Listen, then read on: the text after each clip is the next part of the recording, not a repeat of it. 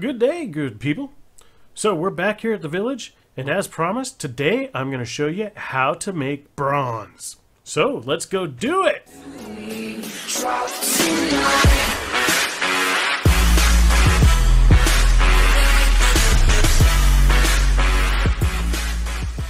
So, we survived our adventures yesterday, and as you might remember, we had to spend the night up on that mountaintop. And, well, if you don't sleep, you're going to get tired. And that is what is in this game as well. If you look down at the lower left hand side of my screen right now, you'll see that, that weird bloodshot eye. That means I'm tired. When I'm tired, I'm exhausted. And I do believe that when you're exhausted, your torpor slowly goes up until you pass out and then you'll pass out for a little bit and it'll drop your torpor by 20% and you'll wake up but then your torpor will start going up again until you'll pass out. So whenever you get exhausted like this you have to come over to your bed and there you see it says sleep. So i hit sleep and boom that eye is gone. Now i think in the future they're going to change it so that you actually kind of uh, it, it's a, a, time thing. So like here it's just instantly your sleep is gone. Um, but for now uh, that's the way it is. It's an instant thing. But I think in the future they're going to make it a time thing. And uh, there's a villager. They want to make it so that, for instance, uh, as a villager, you can rent beds at an inn. You know, you could have a big house like this with a bunch of beds upstairs, and people could come when they get exhausted, and they could pay you to sleep in their beds and and uh, get rid of the exhaustion. So the first thing we're going to do is we're going to need some clay, and I wanted to show you. I have made here the plaster mixer. And when you're making clay, I showed you that some time ago. Uh, you fill your bag with water. Like, okay, I can do this right now. I, I fill your buckets with soil, you fill your bags with water, and then you can craft clay. Well, you do that in the beginning, you do that in a mortar and pestle. But uh, later on, you can build this plaster mixer, and when you do it in there, you get actually more clay. The reason being is that in the mortar and pestle, it takes one water and one bucket of soil to make clay. And in this thing over here, it takes one water and it will mix two buckets of soil. So basically, you're getting twice as much if you make it in there. And why do I need clay? Well, you guessed it. I got to come out here, and the first thing I need to do, make sure I have the clay shaper in my inventory, and I have to go ahead and make a bunch of these. I think I'll make five of them, because I, I only have one that's almost dead right now, so I'll make five of those.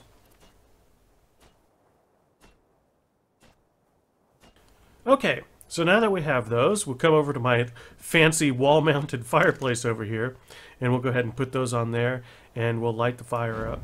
You'll notice I use bark into my fireplace. Bark burns uh, pretty quickly, but the thing is, you get so much of it from doing other things. Whenever I chop down trees or whatnot, I get so much bark. Uh, that I, I just use it because uh, I, I don't have any other use for it anyway. So I keep it here in a barrel, and if I need to put more on the fire there, we just do that. So meanwhile, we'll go ahead and check out here. So I use this little box here, clay pot rather, to keep my the various, various things I've made. So I already have a bunch of copper. I think I can take almost all of it. And I have the tin ore that we that we mined yesterday. And then it's basically the same. Oh, there's. Oh, already had a bunch of tin ore in there. Oh, Cool. Well, we'll do that then. And then basically it's the same thing as for making the copper ingots. We'll just have to put everything in here and light the fire, so to speak. Oh, I'm too heavy. Wait, no. Ugh. Push the right buttons. There we go. Uh, yeah, we'll put the 200 tin. So that's really nice that we have that much extra tin right now because uh, that means we'll be sailing in bronze for quite some time. So these are all now cooked up and good to go. So we put out the fire. Come back over here. Go ahead and put in our molds. Uh, okay, I'll take that out. I have at least three molds in there. And again, so you notice I have seven of these uh, lighting kits or fire making kits. As soon as I use that, now I only have six. So you need to always have these things in stock. So I'm going to need to make a bunch more again. I'm getting a little low here. Go ahead and put that in here. Put the rest of those in there. And the clay, I'll go ahead and put the clay in the clay pot. Or the clay pottery wheel, rather. Whoop, not the rock. Okay, so that'll be going away. and filling up here, making me some. Can I put no? Um, yeah, so we already got our first bronze ingot. So to make bronze, all you have to do is smelt the copper dust together with the tin ore, and you, together with then the molds, it'll give you your bronze ingots. Good. So do we have any bronze ingots left? Well, we got a couple. So I can kind of show you what you can make with the bronze ingots. Melee? There we go. So we can make, for instance, a bronze ingot pickaxe head. So let's go ahead and we'll make one of those. It's probably going to tell me I need a hammer. So I got my hammer in here. That's my blacksmith's hammer. Take that. So now I can make the pickaxe head. Craft one of those. That's nice and easy. And I can type in hatchet. I can also make a hatchet head. Craft one of those. What's this? A chain. Oh, I don't know what I'm going to need that for. We'll have to check that out. So we are now at, so first you have just stone hatchet, then you get copper, and now we've moved up to the bronze level. So I now have, we go back to the inventory, I now have an axe head, and I now have a weapons head. And I have to take those, let me think, do I make them in here? Uh, let me think. Uh, hatchet? Yes, I make it in here. So I've got hide strips, I need a tool handle. So the tool handle I make over here as the carpenter. And the carpenter, that means I need my wood mallet. So we'll go over here, and I think I might even have a couple already made. Nope, I don't. Okay, so we type in handle.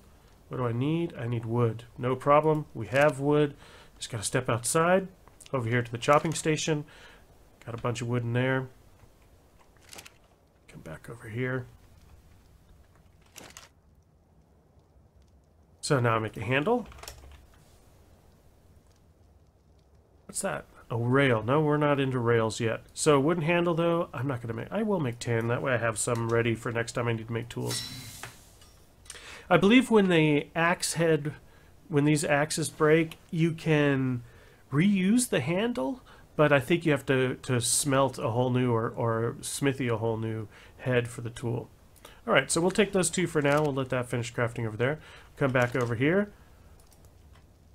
Put the tools on there. Now I can go here to tools. And now we can make it. So I'll make one pickaxe. And one hatchet. So it's pretty much as easy as that. With bronze, it's also possible to make armor. I haven't done that yet, though. Let's check this out. Okay, so what do I need?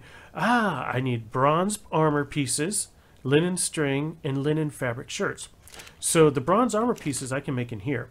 So if I went to armor, metal, yeah, here's where I can make my bronze armor pieces. So I can do that. Uh, the plant string, I already have a ton of those too, uh, but you make that simply by using the wooden spindle together with fiber to make the plant string.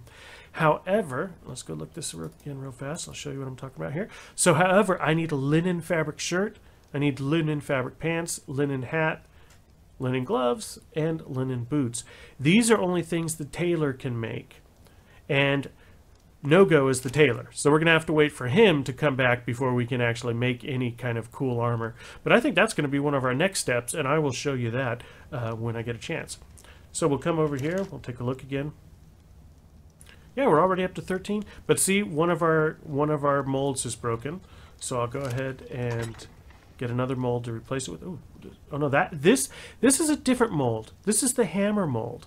So I have here my blacksmith's hammer. You know what? Let's uh, hmm, which which metal do I need for that? I don't know if I want to waste. I don't want to waste uh, bronze. I think I can do that with just copper. But you put this in. Oh, what the heck? Let's just put it in and see what happens. I'll show you guys that. Pull that out. Oop. Did I not pick it up?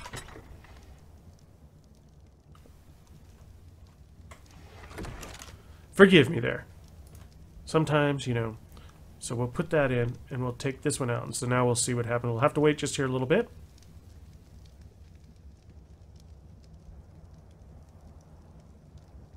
I'll go ahead and make a couple.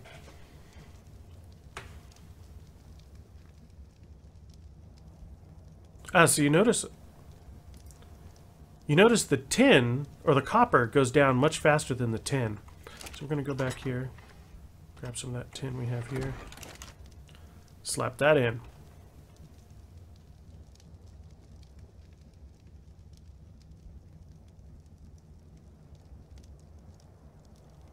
Does it? No, maybe not. Maybe I'm talking baloney here. It could very well be. There you go. So we got our first hammerhead. I'll go ahead and make a second one of these. Why not? Oh, it broke. Okay.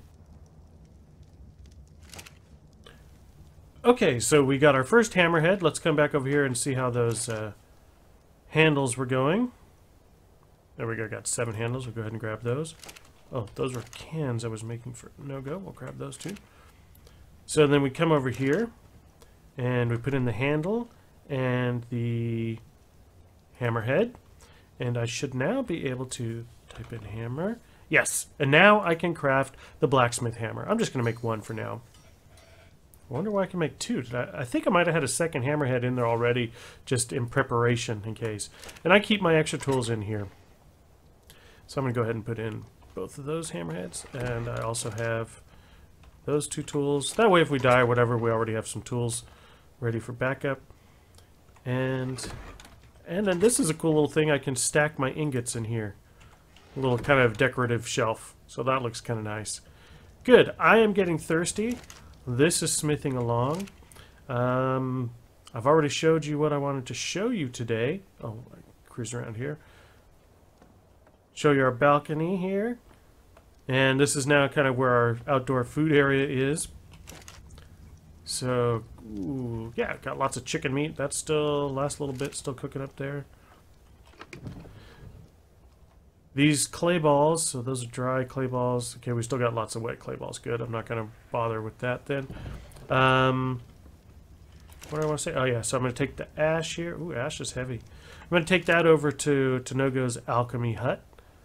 So he's already got uh, lots of different um, herbs and things going here that he needs to grow to make the different concoctions and whatnot. And uh, he needs the gunpowder, I think, and together with the, or not the gunpowder, I think with the sulfur and the ashes, I think that's what he uses to make the gunpowder. So we'll give him all that.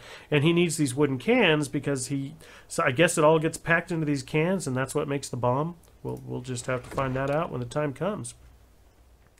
So, and meanwhile, I'm going to grab Ocean and, oh, leveled up again. Ocean has just turned out to be a great mount.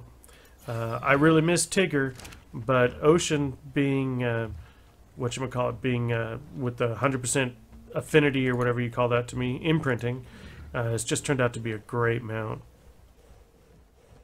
So this is uh, maybe a little bit of a shorter episode today, but my main goal was simply to show you guys how uh, to make bronze and speak in normal languages.